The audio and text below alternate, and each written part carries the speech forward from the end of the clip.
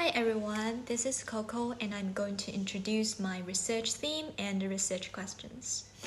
My research theme is original dancing video. My choice is fully based on my interest. I think that since I've already watched a certain number of these videos,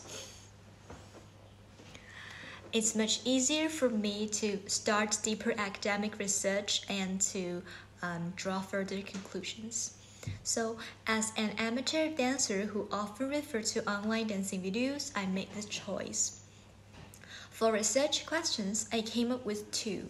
The first is why are the why are some original dancing videos featuring Chinese traditional dancing appealing?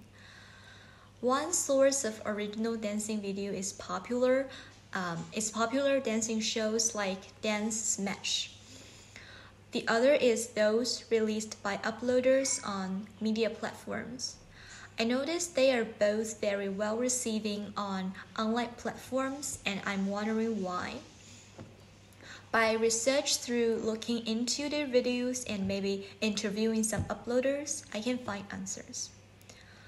The second is um, what is the main difficulty in producing dancing video? While watching these videos, I can see that uploaders sometimes face problems concerning creativity, originality, um, weather, costumes, size, etc. So I'm wondering what is the main obstacle in preventing them from successfully finishing a video.